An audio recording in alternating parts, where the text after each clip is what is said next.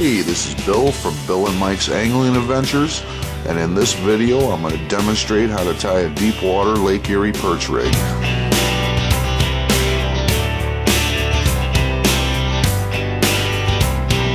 This is the materials you need to tie the perch rig. You need some uh, monofilament or fluorocarbon line in 14 to 20 pound test. You need to use that because you need a stiffer line to keep the hook from getting wrapped around. Now you got some uh, bell sinkers here, uh, half ounce to one ounce we use. Need some gold hooks, long shank gold hooks, and some uh, different colored beads.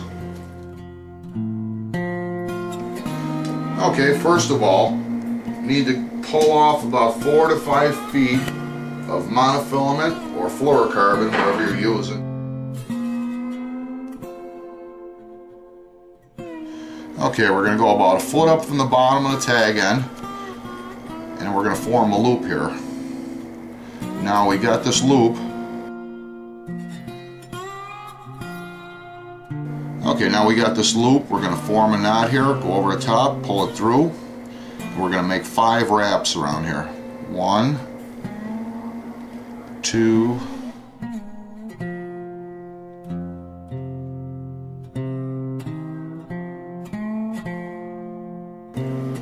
So we get five wraps on here on this loop.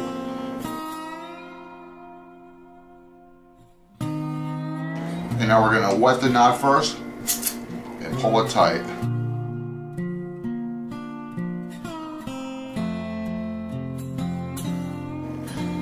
Okay, now you can see we have a, a loop here formed in the main line. What we're going to do is measure up about 8 inches and then pull and form another loop here.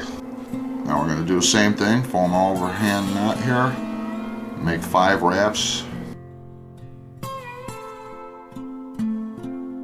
Now we have two loops tied, one a foot up from the bottom, and then another one eight inches above.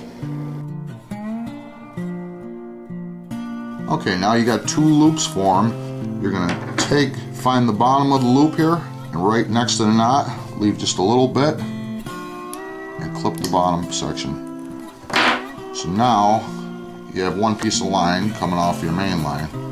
That's all one piece.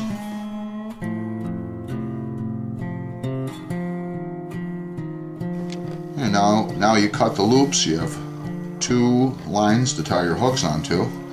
So pretty much we're all set here, okay?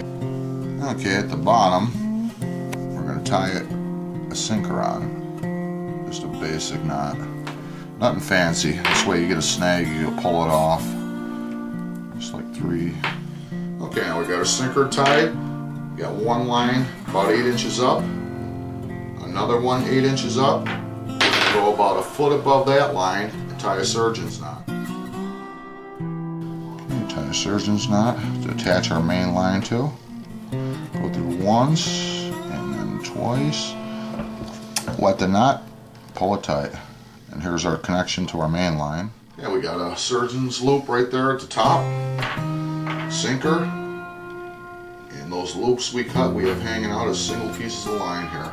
Now we're going to add some beads and tie the hooks on. Okay, now we're going to tie hooks on. Got some gold hooks here. A couple different styles of gold hooks. We're going to add some beads to the hooks. You don't need beads, but sometimes I like a little extra attractor on there. This one I'm going to add a green and a blue bead. Okay, now we got the beads on the line. We're going to add a long shank gold hook. Okay. For this type of hook here, I'm just going to tie a basic uh, knot. For the top hook, I'm going to add a pink bead. Tie uh, another gold hook on. Okay, we got our perch rig tied up here. Hook about 8 inches up, another one another 8 inches up. Got some beads on there. Add a couple minnows and we're ready to fish.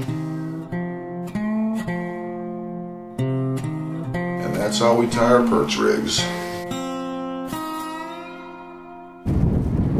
Got something big on it.